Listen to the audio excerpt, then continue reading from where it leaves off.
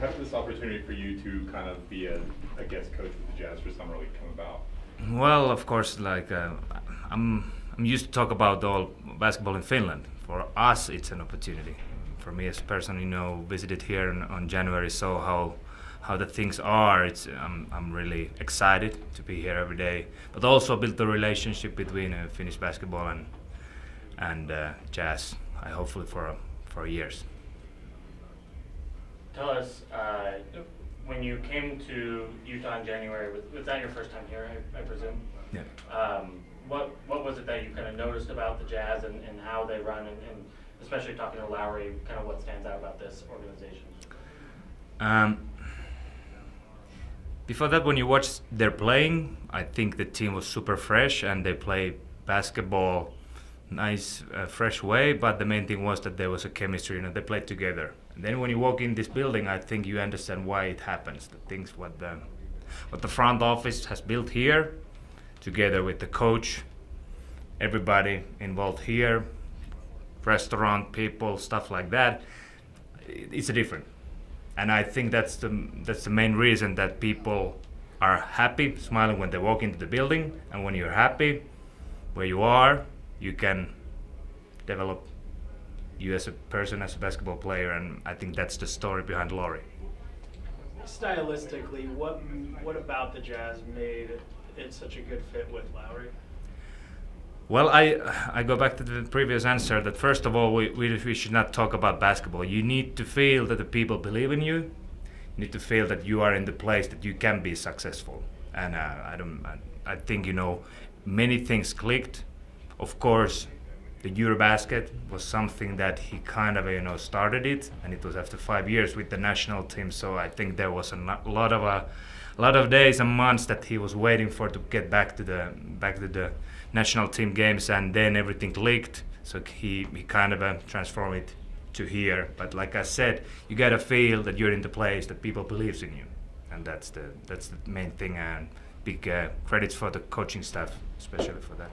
When you look at Lauri, where do you think that his biggest area of improvement can come going forward? Well, sky's the limit. You know, I think the main thing is that he's super hard worker, and and uh, you know the things he. If you look at him in the first year with the Bulls and compare what he does right now, you cannot imagine like how much he has developed. So there's there's multiple ways. I think also basketball is changing. Like that, you know, he's a modern player that he can be the big man handling the ball. You already saw that we used him as a guard in the in the previous EuroBasket. So I think you know in Europe we call this kind of a Swiss knife that you know can do everything. I think that's the that's the goal for. for What'd you call that? Swiss knife, you know, we call it like a Swiss knife that you can do basically with every knife. Swiss knife that you know everything with it. Do you recall there being a moment where obviously we've talked to Lauri about you know him feeling like going into EuroBasket last year, he just felt different. He felt more kind of ready to take things on. Do you recall there being a moment where you noticed like kind of a tangible difference in the way he was playing? Mm, there was not a not a moment. I think uh, the summer was perfect for us because actually we played those few games in June where we have to win, and uh, those were not probably the best ones for us. But we kind of uh, started the process earlier. Then there was a break. We had another few qualifiers for the World Cup, and then getting into Euro. So it was not that you know the first game you have to be there and also like I think Lauri has had a time to get used to the basketball over there. Uh, it was my first tournament too as a head coach, so I don't remember too many too many d- days outside of the games. But I just remember that in, then in Prague, when the when the round started, for some reason he just picked up that he's better than the he's he's almost all the time, all the time the best player on the court, and it's it's that was impressive. I apologize for the ignorant question, but how popular is basketball in Finland? Well, it's rising. I think you know, national team has started it when we went to play against the Team USA 2014 in Bilbao, opening game of the World Cup. Don't look the result. um, there was 10,000 Finns in the stands and I, but I think you know some of them they were not you know coming to watch basketball. They went to watch the team, which was like something new to follow and be part with it. Um, we have a job to do because we want to. We, we don't have a like a lot of players. I think you know that's the biggest challenge that we need to compete with the ice hockey in Finland, and now football is big. But uh, but I think you know we're getting better all the time, and like I said, getting better players from our academies, better coaches, more coaches. That's the job, and, and it's rising. Related question, how popular is Lauri in market, uh, in, in Finland, and how famous is he? Well, I think you know right now it, it's hard to. You should never, you know, measure like who's bigger and what, but like for sure, for one of the the main faces in Finland, all sports, and uh, I think he does it extremely well because he doesn't want to be in the spotlight. He does it. He's he's like he is, and that's why people like him.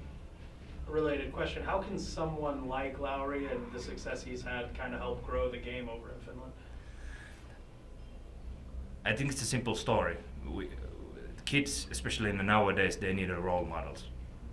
The the thing is that maybe 20 years ago, when you watched the small kids in the school, you know, having a break, they play hockey and they wanna be something big in the hockey. Now you see kids throwing the ball between the classes, and I wanna be Lauri or somebody else. So uh, that's something that we cannot do as you know professionals. That's something that you know only the, the role models and idols they can they can touch.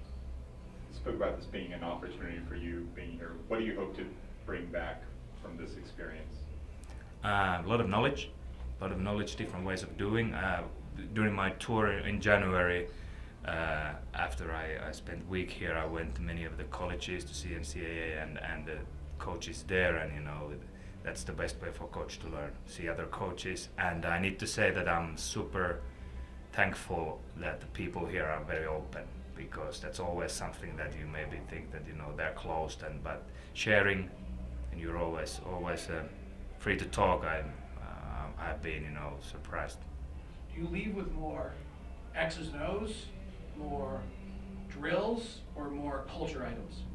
Me personally. Like, yeah, for the, when you take when you go to these visits, do you v- come back for Finnish basketball and come with more X's and O's type things, more like on floor practice drill things, or more culture items on how things are run? I think we we, we coaches. Uh, of course, every coach, especially in basketball, is a fan of X's and O's because that's the funny thing. That's the romantic thing to see Twitters and what other plays.